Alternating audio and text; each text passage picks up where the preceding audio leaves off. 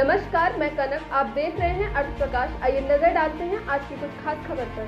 Chandigarh crime branch को उस समय बड़ी कामयाबी हासिल हुई। क्राइम ब्रांच के इंस्पेक्टर सतविंदर और उनकी टीम ने चंडीगढ़ से गाड़ियाँ चोरी करने वाली गैंग को गिरफ़्तार कर लिया है। आरोपियों से आठ गाड़ियाँ बरामद हुई हैं। आरोपियों की पहचान सोनीपत के रहने वाले अक्षय उम्र 28, जयपाल उम्र 23 और राहुल उम्र 27 के रूप में हुई है।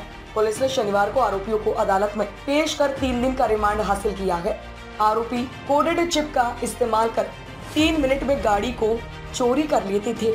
इसके बाद गाड़ियों को एक लाख से डेढ़ लाख रुपए में बिहार में बेच देते थे। पुलिस ने सात गाड़ियाँ बिहार से बरामद की हैं। पुलिस के अनुसार अक्षय के खिलाफ चोरी के लगभग बत्तीस और राजपाल पर छह केस दर्ज है। पुलिस को आरोपियों को गिरफ़्तार करने में सीसीटीवी कैमरे और तकनीकी सिस्टम से मदद मिली। पुलिस ने आरोपियों से पाँच ब्रेजा, एक सैलरियो, रियाज और बुलेनो कार बरामद की है। आरोपी बुलेनो कार पर फर्जी नंबर लगाकर चोरी करने आते थे। चंडीगढ़ क्राइम ब्रांच की टीम ने तीनों आरोपियों से पूछताछ की और पूछताछ के दौरान सामने आया कि तीनों युवक मौज मस्ती और ऐश प्रस्ती के लिए चोरी की वारदात को अंजाम देते थे। गाड़ियाँ चोरी कर पंजाब, हरियाणा हिमाचल, यूपी, बिहार, उत्तराखंड, नेपाल, राजस्थान, अन्य कई राज्यों में जाकर 150 लाख में बेच देते थे। पकड़े गए आरोपियों पर पहले भी कई आपराधिक मामले दर्ज हैं। हरियाणा में अवैध माइनिंग का धंधा बढ़ता जा रहा है।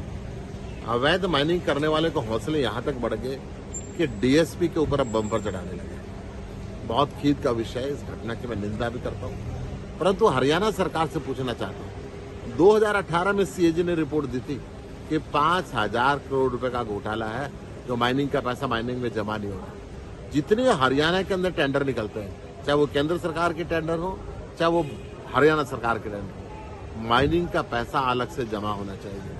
आज पचास हज़ार करोड़ रुपए कम से कम मुख्यमंत्री कार्यालय या मंत्रियों के कार्यालय के निर्देश पे हरियाणा सरकार के चुराए जा रहे हैं। जो पैसा हरियाणा सरकार के राजस्व के अंदर जमा होना चाहिए था। वो ठेकेदार और लीडर मिल के खा रहे क्यों नहीं हरियाणा सरकार उनके ऊपर कार्रवाई करती? क्यों इतना गुंडाराज बढ़ता जा रहा है कि डीएसपी के ऊपर ट्रक चढ़ा दिया जाता है? आज विधायकों को धमकियाँ मिलती है। जो सरकार अपने विधायकों को सुरक्षित नहीं रख सकती वो हरियाणा की जनता को कैसे सुरक्षित रखे मौके पर ही मौत हो गई है डीएसपी की। बहुत कड़े शब्दों में मैं निंदा करता हूँ और जल्द से जल्द दोषियों को गिरफ़्तार करना चाहिए और माइनिंग की सारी रकम वसूल करके हरियाणा सरकार के अंदर जमा होनी चाहिए। ताज़ा अपडेट्स व बड़ी खबरों के लिए सब्सक्राइब करें आज प्रकाश टीवी और बेल आइकन दबाना ना भूलें।